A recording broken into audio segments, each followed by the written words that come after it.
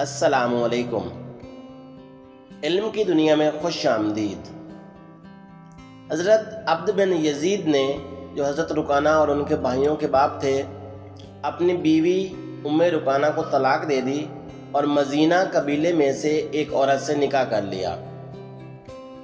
चंद दिन ही गुजरे होंगे कि वो औरत रसूलुल्लाह सल्लल्लाहु अलैहि वसल्लम के पास आई और बोली, या रसूलुल्लाह, अबू रुकाना नामर्द है उसके पास औरतों से हम बिस्तरी करने की ताकत नहीं।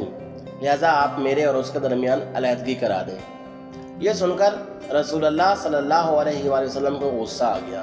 चुनाचे आपने रुकाना और उसके भाइयों को बुला भेजा। फिर आप सल्लल्लाहु अलैहि वसल्लम ने लोगों से फरमाया, क्या तुम रुकाना और उसके भाइयों को देख रहे हो? शक्लो सूरत में किस कदर बाप के मुशाबे हैं। यकीनन, ये सब इसी की औलाद हैं और इसकी मर्दानगी में किसी तरह का शक और शुबा नहीं, जैसा कि उसकी कबीला मजीना वाली बीवी का कहना है। लोगों ने कहा हाँ आप सल्लल्लाहु अलैहि वसल्लम ने अब्द बिन यजीद से कहा, इसे तलाक दे दो और उम्म रुकाना से रजू करके उसको अपनी जौजियत में वापस ले लो। तो अबू रुकाना ने कहा कि, या रसूलल्लाह, मैंने उसको एक ही मजलिस में तीन तलाक दी है। चुनाचे आपने फरमाया, मैं जानता हूँ, उसको एक ही मजलिस में तीन तलाक दी गई है। लेकिन एक मजलिस की तीन तलाक़ें एक ही तलाक होती है। लिहाजा तुम मुझसे रजू कर लो।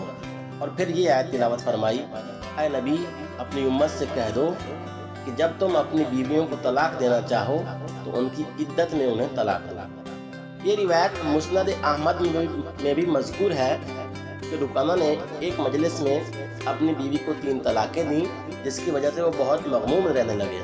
मगर जब आपने फरमाया कि एक मजलिस की तीन तलाक़ें, एक ही तलाक होती है तो तब उन्होंने अपनी पहली बीवी से ही रुजू कर लिया।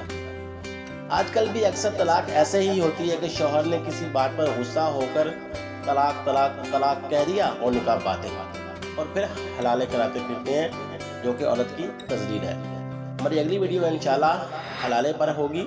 तो आप वीडियो लाइक करने के बाद चैनल को सब्सक्राइब करके बेल आइकन प्रेस कर दें ताकि आपको अगली वीडियो मिल सके।